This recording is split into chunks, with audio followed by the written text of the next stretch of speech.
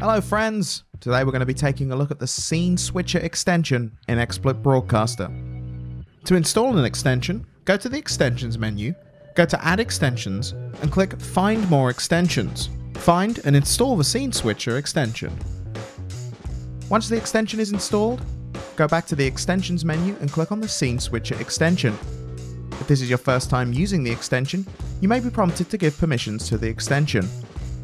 The Scene Switcher extension has a basic mode and an advanced mode. The basic mode switches to any scene that has the window title you are focused on as a source. This can be a game you captured or a window you've captured. If you're focused on a window that isn't in your sources, then you can set the scene switcher to not switch or switch to a specific scene.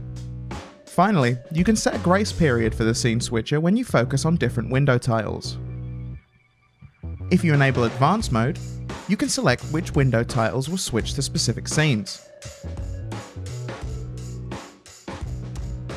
Finally, you can set a hotkey to start and stop the scene switcher. And that's how you set up the scene switcher extension in XSplit Broadcaster. For more information, check out xsplit.com and be sure to follow us on social media.